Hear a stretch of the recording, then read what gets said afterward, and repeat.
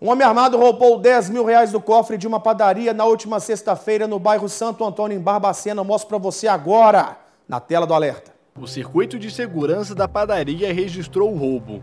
O homem de casaca azul e calça jeans entra armado no escritório e aponta a arma na cabeça da funcionária. Ela é intimidada a mostrar o cofre onde o dinheiro fica guardado. A funcionária pega o dinheiro, coloca em uma sacola e entrega ao homem.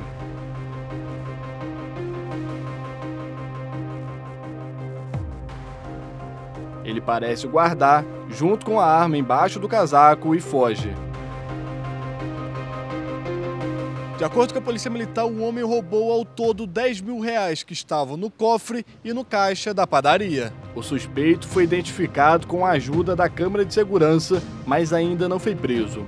Ele já tem passagens pela polícia do Gabriel Luterbach, a gente sabe que ele já foi identificado, as imagens da câmera de segurança auxiliaram o trabalho da Polícia Militar. Ah, a gente tem que embaçar as imagens, a gente não pode mostrar para você. Tem uma lei que regulamenta isso e por conta disso a gente tem que resguardar também a imagem, principalmente da vítima, né? E agora a gente mostra para você que ele foi identificado, mas não foi localizado. Você pode ligar o 90 ou 181 se você quiser garantir o anonimato e facilitar o trabalho da Polícia Militar, porque continua solto aí e aí a gente sabe que, infelizmente, esses roubos acontecem de uma forma é, recorrente. Muitas vezes o próprio autor ele é autor em outras situações também.